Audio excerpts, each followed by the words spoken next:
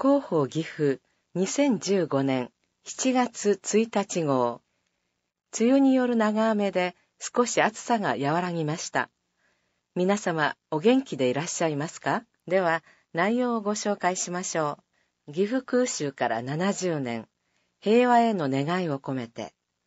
市長の元気宅配便第278回。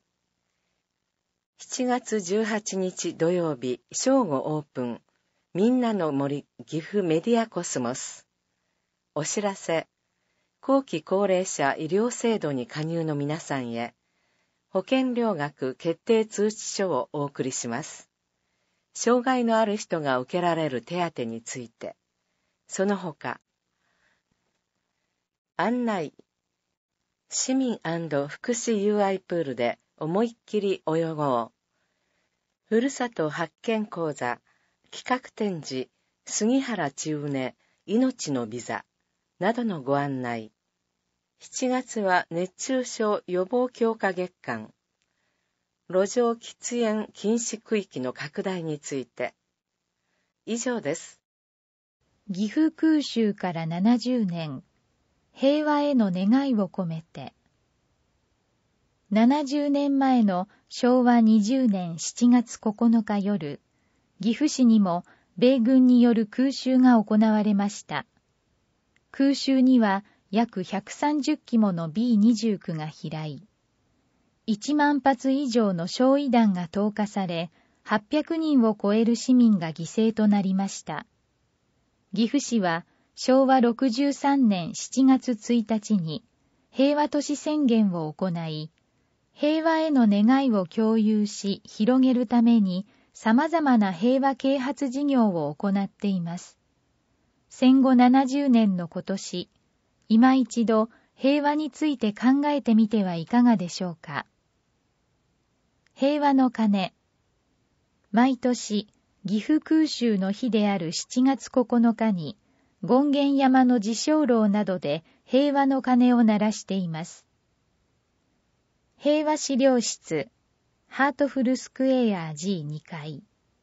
岐阜空襲に関する写真パネルや繊細遺物など約200点を展示しています。平和の折り鶴。市民の皆さんの平和への願いを表し、平和資料室内で展示しているほか、一部は広島市、長崎市へ手向けます。平和都市宣言緑豊かな金華山と清流長良川に代表される私たちのふるさとは、自由と平和を尊ぶ風土を育み、活力に満ちた住みよい街づくりを目指しています。この美しい自然を愛し、自由と平和を求める心は、私たちのみならず、人類共通の願いであります。私たちの岐阜市は、世界の各都市と友好、姉妹都市提携を進め、相互の信頼を深めつつ、平和への道を歩んでいます。市政施行100年を迎えるにあたり、すべての核兵器と戦争をなくすことを訴え、世界の人々と共に真の高級平和が達成されることを願い、ここに平和都市を宣言します。昭和63年7月1日、岐阜市。問い合わせ先、男女共生生きがい推進課、電話番号214-4792番。市長の元気宅配便第278回地方創生へプレミアム付き商品券発売開始市長細江重光いよいよ7月1日からプレミアム付き商品券の発売が始まります。例えば、1万円の商品券を買うと、1万2000円分の買い物ができるというもので、これで地方の経済の活性化を図ろうと、国の交付金を財源として行われるものです。1000円の商品券12枚、1万2000円分で1セット、1万円となっており、岐阜市では17万セットを発売予定です。事業の概要は以下の通りです。販売開始日、平成27年7月1日水曜日午前9時から、売り切れ次第終了。買える場所、16銀行、岐阜信用金庫など市内の6金融機関102店舗。買える数量、1人5セット5万円まで。使える期間、平成27年7月1日水曜日から平成27年12月20日日曜日まで。使える場所、市内の登録事業所で最終的には約3000事業所を想定。現在約900事業所。使える事業所の一例。大型店、スーパー、ショッピングモールなど。食料品、青果店、鮮魚店、精肉店、精米店など。飲食店、食事処、レストラン、喫茶店、居酒屋など。理美容、理髪店、美容院、エステサロンなど、レジャー、映画館、カラオケ、スポーツ施設など、宿泊、ホテル、旅館、民宿など、これらはほんの一例です。この他にもいろいろありますから、チェックしてみてください。また、公共料金、タバコ、ガソリンなど使えない分野もいくつかありますから、念のため確認してください。昨年の消費税増税後、低迷気味の消費活動を刺激して、地方、地域の商店や事業所の活性化を図り、地方を創生しようというのが政府が目指すプレミアム付き商品券の趣旨です。岐阜市全域の小売業の年間販売額を見てみると、平成3年に5600億円強だったものが、平成19年には約4600億円へと19%近くも落ち込んでおり、中心市街地だけを見ると62%強とさらに大きな落ち込みとなっています。現在岐阜市では少子化対策や地域経済の活性化に取り組むための岐阜市町人、仕事創生総合戦略を策定中です。また、岐阜シティタワー43など、岐阜駅周辺の再開発事業に続き、高島や南地区の再開発事業など、さらなる中心市街地活性化策も進めていきます。このプレミアム付き商品券事業が、岐阜市民の消費活動を喚起し、地域商店街の活性化のきっかけになってくれることを心から祈っています。7月18日土曜日正午オープン。みんなの森岐阜メディアコスモス。居心地のいい場所たくさんあります。私立中央図書館2階。岐阜市立中央図書館は、ここにいることが気持ちいい。ずっとここにいたくなる。何度も来てみたくなる図書館を目指します。そんな図書館の中を大公開。並木テラス。せせらぎの並木、手に手をがよく見えます。風と緑を楽しむ読書空間です。ゆったりグローブ。人工島でできた大きな椅子でゆっくり本が読めます。親子のグローブ。靴を脱いで上がってください。のびのびと本を楽しんで、規模が大きくなります。延べ床面積2000平方メートルから9200平方メートル、座席数130席から910席、蔵書規模20万冊から30万冊、将来的には90万冊を目指します。開館時間午前10時から午後6時までが午前9時から午後8時までとなります。充実した設備とコーナーがあります。1、インターネット席と Wi-Fi フリー。インターネット席は申し込みをすれば無料でご利用できます。また、パソコンやスマートフォンで Wi-Fi をご使用できます。2、ヤングアダルトのグローブ。中高生向けのエリアです。現在1万冊の本があり、将来的に3万冊を目指します。中高生専用席やグループ学習室も。3、見る、聞くシート。図書館の視聴覚資料をゆっくりと楽しめます。4. リーディングカフェ。ドリンクを片手に読書はいかがですか？つながる読書の部屋の申し込みを受け付けます。12人程度で図書館資料を用いた学習やサークル活動に利用できるつながる読書の部屋の7月8月分の申し込みを7月1日水曜日から受け付けます。利用には団体の利用カードの申し込みが必要です。市民活動交流センター1階、みんなのギャラリー、絵画の展示はもちろん、市民活動の発表の場として利用できます。可動壁でレイアウト変更も可能。みんなのホール、講演会はもちろん、発表会、コンサートから落語まで、様々なイベントが開催できますよ。子供の部屋、授乳室やシャワーも完備したお部屋、小さなお子さん連れでも安心、保護者同伴での利用に限ります。ドキドキテラス、開放的なスペースで展示会やイベントを行います。ガラス扉を開放すれば、屋外と一体的な空間に。ワイワイサークル、多文化交流プラザ、国境を越えて学び合い、活動することもできちゃうかも。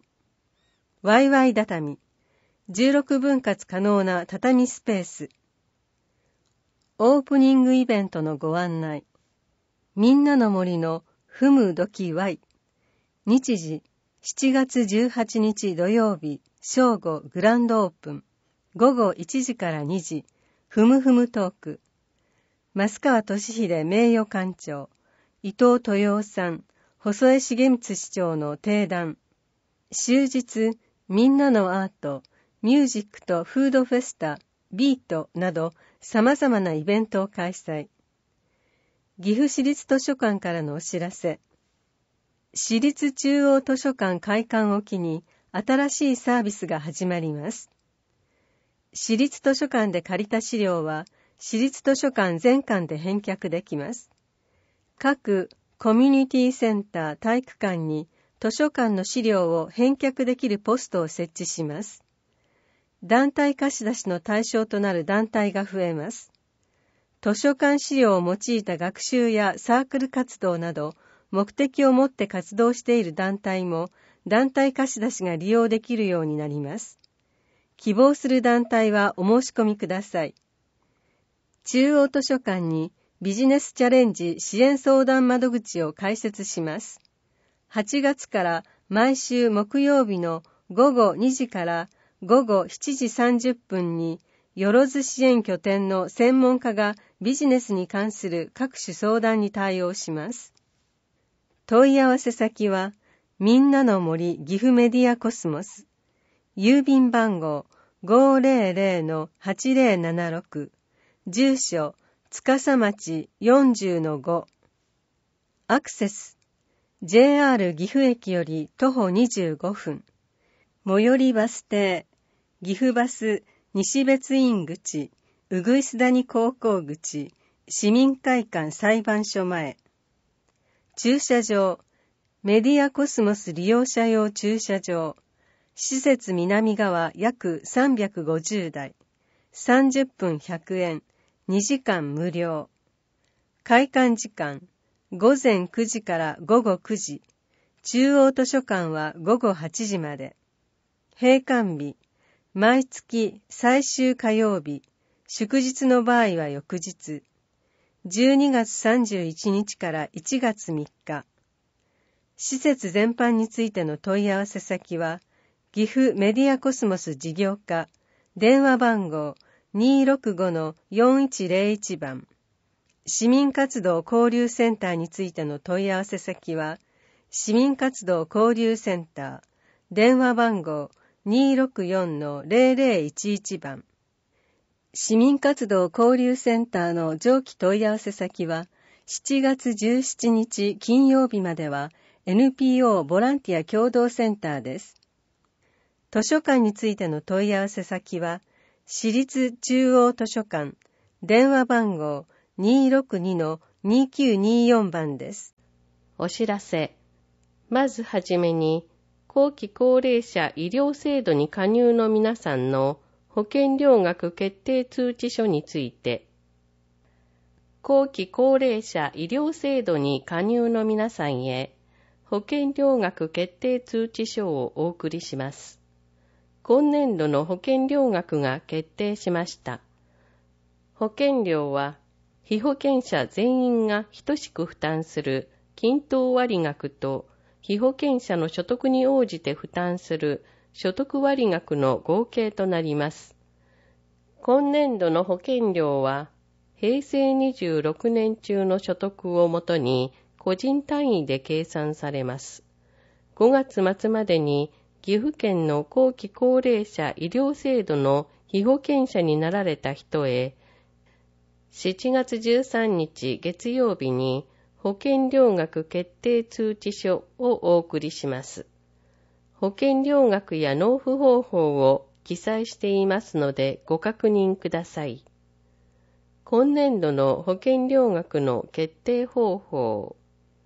均等割額、被保険者1人当たり41,840円プラス所得割額、被保険者の所得、総所得金額等引く基礎控除額33万円かける所得割率7.99%は今年度の保険料限度額年額57万円100円未満は切り捨て。保険料の軽減措置について。1均等割額の軽減世帯、被保険者世帯主の平成26年中の総所得金額等の合計額、基礎控除額33万円以下の世帯、被保険者全員が年金収入80万円以下、その他各種所得がない場合、9割軽減。被保険者全員が年金収入80万円以下以外、8.5割軽減。基礎控除額33万円プラス26万円かける世帯の被保険者数以下の世帯5割軽減。基礎控除額33万円プラス47万円かける世帯の被保険者数以下の世帯2割軽減。軽減判定時の総所得金額等は、各収入から必要経費や控除額を差し引いた所得金額の合計額となります。ただし、譲渡所得は特別控除前の額となるほか、事業先住者控除の適用はなく、先住者給与額は事業主の所得に合算されます。また、年金所得は年金収入から公的年金等控除額と特別控除額15万円、65歳以上の人のみ適用を差し引いた額です。軽減判定日は4月1日、または資格を取得した日です。2、所得割額の軽減。所得割額を負担する人で、基礎控除後の総所得金額等が58万円以下の場合は、所得割額が一律5割軽減されます。3. 被用者保険の非扶養者であった人、所得割額の負担はなく、均等割額が9割軽減されます。被用者保険とは、協会憲法、健康保険組合、船員保険、共済組合の公的医療保険の総称です。保険料の支払いが困難な場合、失業や災害などで保険料の支払いが困難な場合は、お早めにご相談ください。保険料の支払いを年金から口座振替に変更できます。詳しくはお問い合わせください。8月から後期高齢者医療費保険者証が変わります。後期高齢者医療費保険者証は、市に住民登録がある75歳以上の人と、65歳以上、74歳以下で一定の障害があり、後期高齢者医療制度に加入している人に交付されます。現在お持ちの保険証の有効期限は7月31日です。8月1日からは7月中にお送りする新しい保険証をご使用ください。現在の薄い青色から薄い緑色に変わります。問い合わせ先、福祉医療課、電話214-2128番です。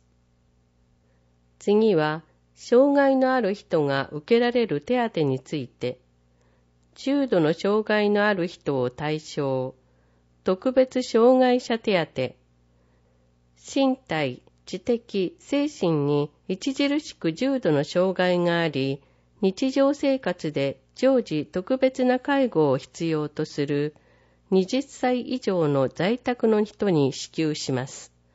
原則、各手帳の一級程度の障害があり、寝たきりなど特に重度の人が対象です。障害児福祉手当、身体、知的、精神に重度の障害がある20歳未満の在宅の人に支給します。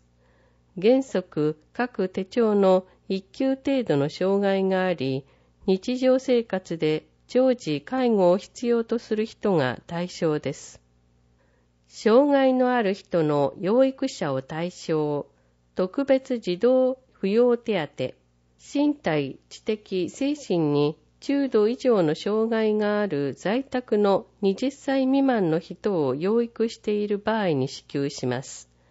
原則、身体障害者手帳は1級から4級、4級は一部、療育手帳は A1 から B2、B には一部。程度の障害があり、日常生活で著しい制限を受ける人が対象です。いずれも認定基準や所得制限などの受給要件がありますので、詳しくはお問い合わせください。問い合わせ先、障害福祉課、電話214-2135番です。次は、障害基礎年金を受けている皆さんの受給権者所得状況届の提出について、20歳前の障害による障害基礎年金や障害福祉年金から切り替わった障害基礎年金を受けている人は、7月上旬に日本年金機構から受給権者所得状況届、はがきが送付されますので、記入し提出してください。なお、診断書の提出が必要な人は、障害状態確認届、受給権者所得状況届が送付されますので、7月中に医師の診断を受け、切り離さずに提出してください。期限までに提出されない場合や、未申告などで所得状況の確認ができない場合は、年金の支払い、10月支払い分からが一時止まりますので、早めの提出、申告をお願いします。提出期限、7月31日金曜日。提出場所、国保年金課、本庁舎高層部2階、柳津地域振興事務所、各事務所、各事務所での受付は、午前9時30分から午後4時15分。問い合わせ先、国保年金課、電話214-2086番、岐阜北年金事務所、電話232-1165番。岐阜南年金事務所、電話273-6161番です。次は、平成28年度採用、身体障害者対象の岐阜市職員募集について、職種、採用予定人員、事務職3人程度、受験資格、次の要件をすべて満たす人、1、昭和56年4月2日から平成10年4月1日に生まれた。2、身体障害者手帳の交付を受けている。3、自力で通勤でき、かつ介護者なしで一般事務職の職務の遂行が可能。4、活字印刷文による出題、拡大文字問題による受験化、及び口頭による面接試験に対応できる。試験日時、場所、8月15日土曜日午前10時から午後3時、市役所本庁舎。申し込み問い合わせ先、申し込み書を7月1日水曜日から31日金曜日に郵送、必着、または会長日時に直接人事課、郵便番号500-8701今沢町18本庁舎高層部4階電話214-4925番へ試験要項と申込書は7月1日水曜日からどうかまたは市ホームページで入手できます。次は、8月から介護保険サービスを利用した際の負担について、8月から介護保険サービスを利用した際の負担の一部が変更になります。一定以上の所得のある人は、サービス利用時の負担割合が2割になります。これまでは所得にかかわらず一律に1割としていましたが、8月からは一定以上の所得のある人は2割になります。7月下旬に要介護、要支援、認定を受けている人に負担割合証を郵送しますので、負担割合を確認の上、サービスを利用する事業所や施設に提示してください。詳しくは同封の案内をご確認ください。食費、部屋代の負担軽減、負担限度額認定の基準が変わります。介護保険施設、介護老人福祉、介護老人保険、介護療養型医療施設やショートステイを利用する人の食費、部屋代については、本人負担が原則ですが、世帯員全員が市民税を課税されていない人については、申請により負担軽減を行っています。ただし、次のいずれかの場合は、8月から負担軽減の対象外となります。1、配偶者、世帯が同じかどうかにかかわらず、が市民税を課税されている場合、2、配偶者がいない人で預貯金などが1000万円を超える、配偶者がいる人は合計2000万円を超える。場合、この変更に伴い申請書の様式が新しくなります。月々の負担の上限、高額介護サービス費の基準が変わります。同じ月に利用したサービスの利用者負担額が限度額を超えたとき、申請によりその超えた部分が払い戻されます。そのうち、現役並み所得に相当する人がいる世帯の人について、限度額が月額3万7200円から44,400円に引き上げられます。問い合わせ先、介護保険課、電話214-2092番です。次は、就職が困難な若年者、中高年齢者、障害者を雇用する事業主への奨励金支給について、市内に事業所を有する事業主が、国のトライアル雇用制度を活用して、トライアル雇用終了日前から市内に在住する就職が困難な若年者、中高年齢者、障害者を3ヶ月間トライアル雇用し、引き続き3ヶ月以上常用雇用した場合、奨励金1人10万円を支給します。詳しくはお問い合わせください。問い合わせ先、産業雇用課、電話214-2358番です。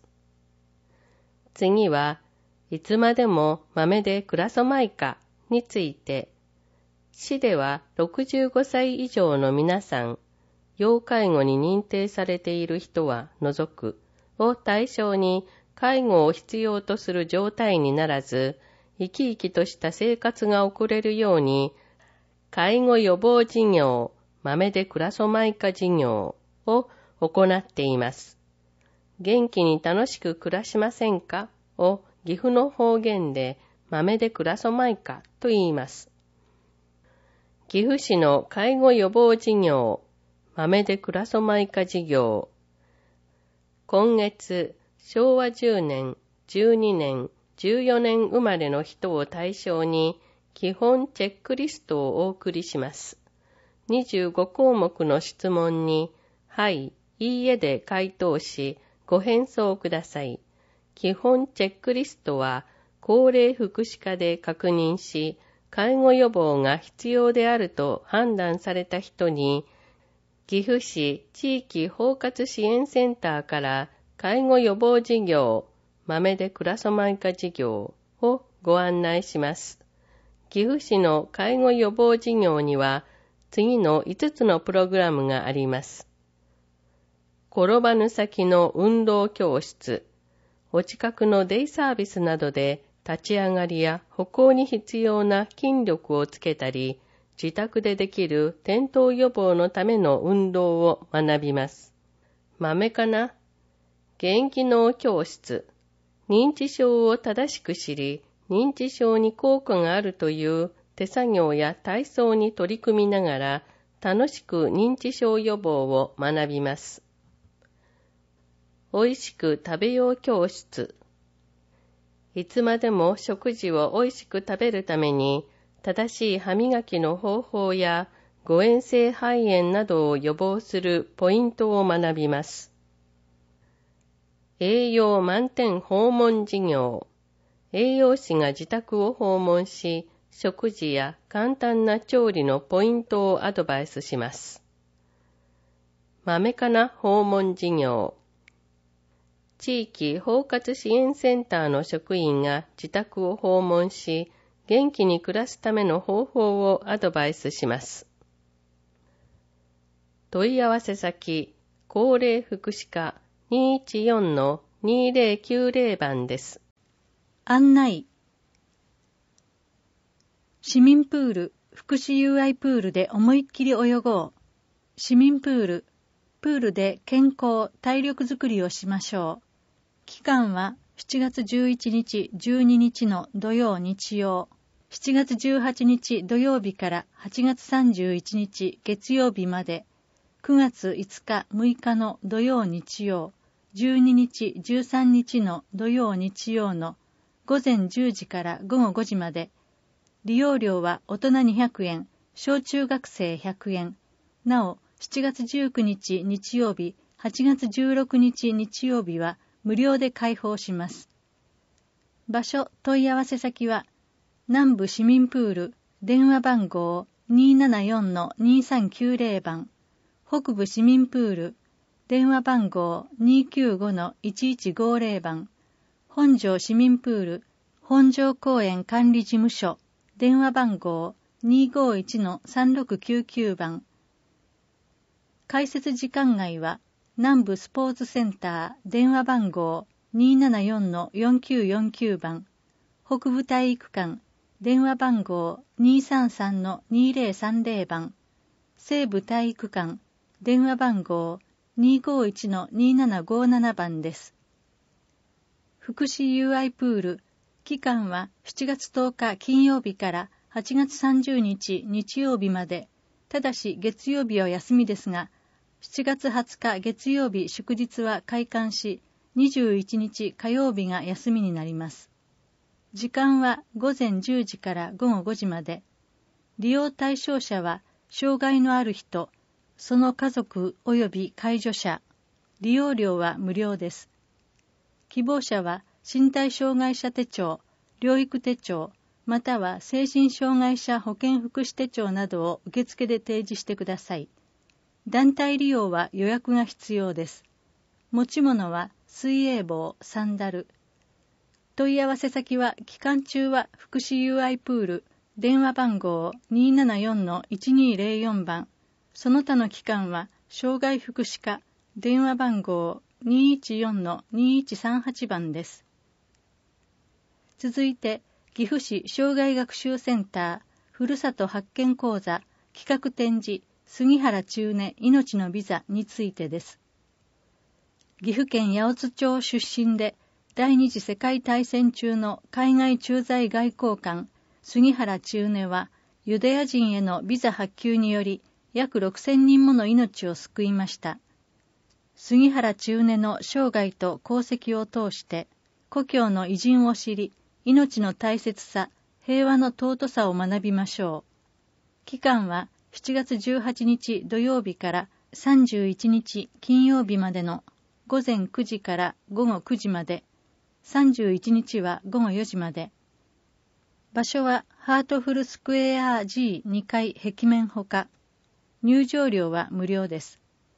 問い合わせ先は、郵便番号500-8521橋本町1-10-23障害学習センター電話番号268-1050番です。変わりまして、戦後70年イベント、長崎被爆体験講話のご案内です。戦後70年を迎え、平和の大切さを改めて認識するため、長崎市から被爆者を招きお話を伺います。日にちは8月2日日曜日、時間は午前10時30分から正午まで、場所はみんなの森、岐阜メディアコスモス。講師は公益財団法人長崎平和推進協会継承部会員深堀ジョージさん。対象は市内在住在学の中学生、高校生を優先しますが、一般も可能です。定員は200人。参加費は無料。記念品、平和の折り鶴再生グッズを申請します。希望者は7月21日火曜日までに住所、氏名、学校名、学年、電話番号を明記し、はがき、ファクス、E メールでお申し込みください。申し込み、問い合わせ先は、郵便番号500-8701今沢町18男女共生生きがい推進課電話番号214-4792番ファクス番号264-8602番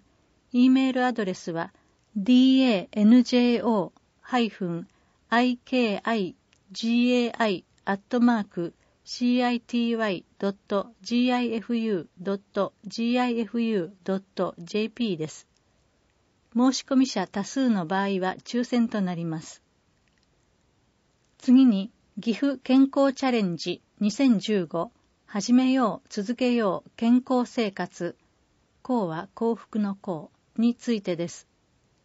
検診を受診する、イベントに参加するなど、健康づくりに取り組むことでポイントを貯めて応募すると、抽選で景品が当たります。対象者は、市内在住、在勤、在学の20歳以上の人。応募期間は来年2月29日月曜日、化身有効まで。応募条件は、健康審査、がん検診などを受診、岐阜市主催または地域のイベントへの参加のポイント対象の健康づくりに取り組んで5ポイント以上貯めることです。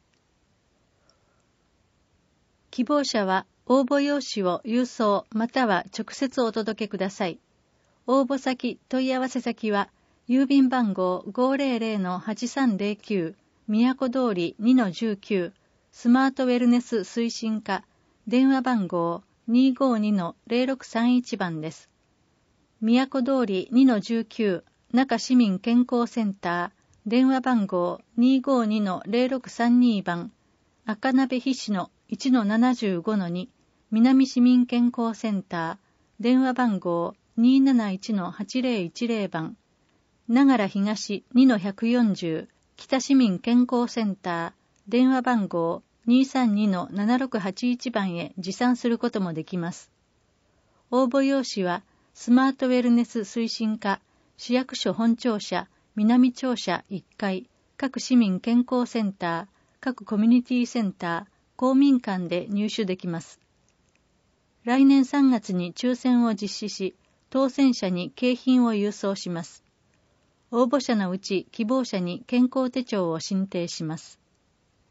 代わりまして、岐阜市内施設共通入場券ウータン手形7月17日金曜日から販売開始についてです。市内5施設で利用できる共通入場券ウータン手形を販売します。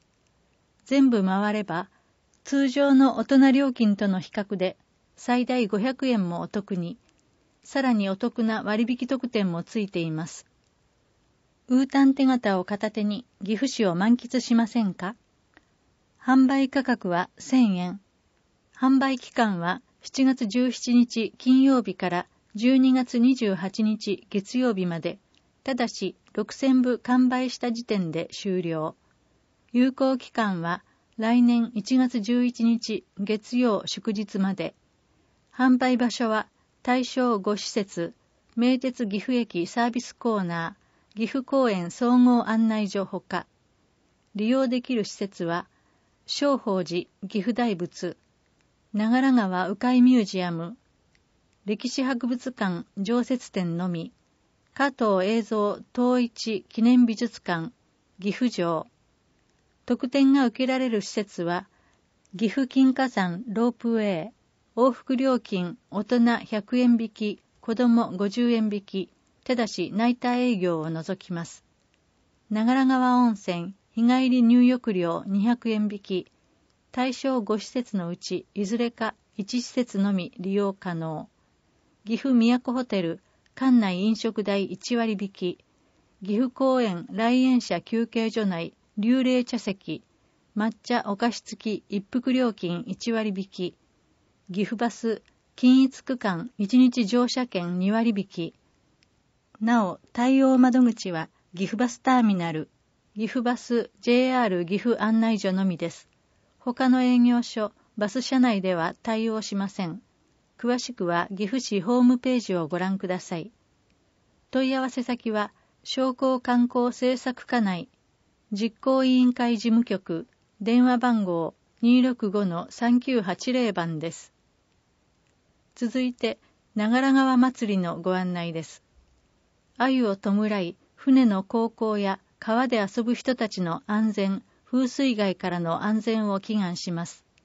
期日は7月16日木曜日、場所は新明神社、長良川鵜飼ミュージアム交流体験広場ほか、時間、内容は午後2時からあゆくよう、午後5時からビンゴゲーム、午後5時30分から提灯船出船、乗船は小学生以下とその保護者に限ります。午後6時から盆踊り大会、午後8時30分頃、迂回終了後、打ち上げ花火。なお、天候により変更の場合があります。問い合わせ先は、公益財団法人、岐阜観光コンベンション協会、電話番号266-5588番です。7月は熱中症予防強化月間。熱中症は体内の水分、塩分のバランスが崩れたり、体温調節がうまくできなくなることなどによって起こり、重症化すると生命に危険が及ぶ場合もあります。蒸し暑く急に気温が高くなる7月は、例年熱中症で救急搬送される人が最も多くなります。梅雨明けは特に気をつけましょう。主な症状、軽症、めまい、立ちくらみ、大量の発汗、中等症、頭痛、吐き気、だるさ、体に力が入らない、重症、意識が朦朧とする、痙攣、体温が高い。熱中症を予防するために、屋外では日陰を選んで歩いたり、日傘や帽子を使うなどして暑さを避ける。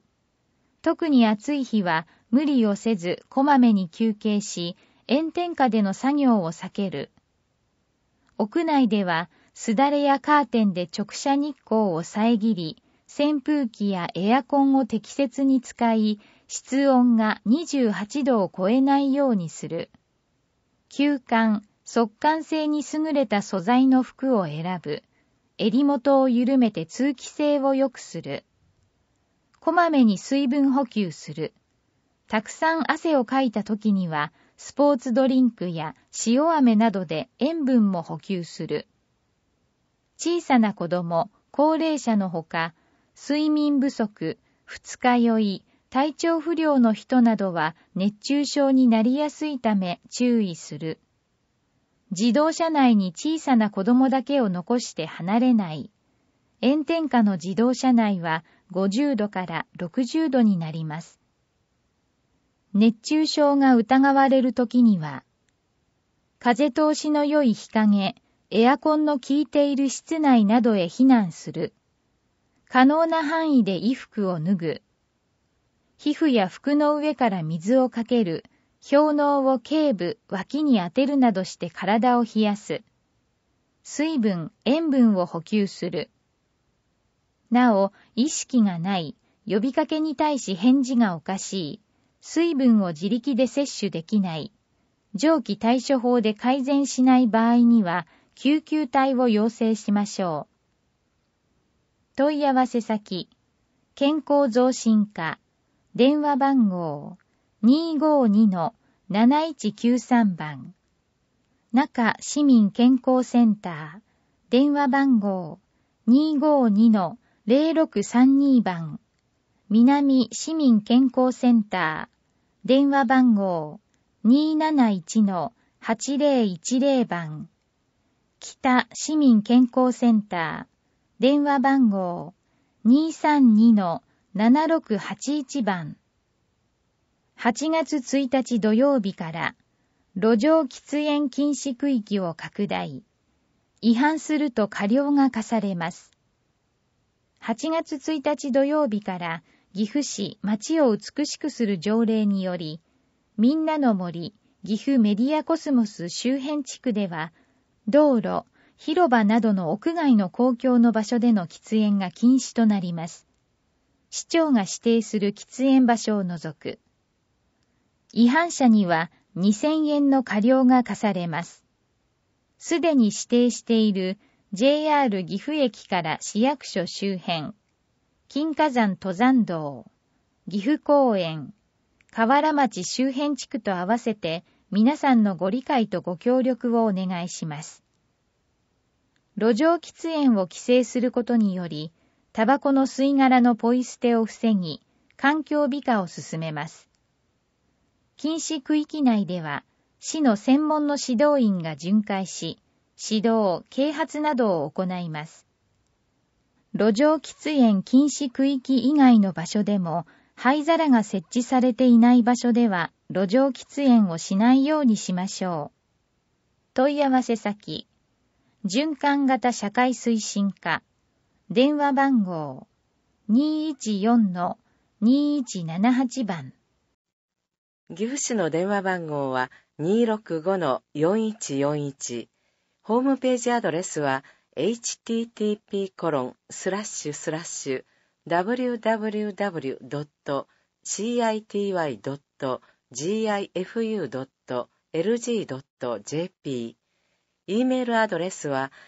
soudan.city.gifu.gifu.jp です。以上で広報岐阜2015年7月1日号を終わります。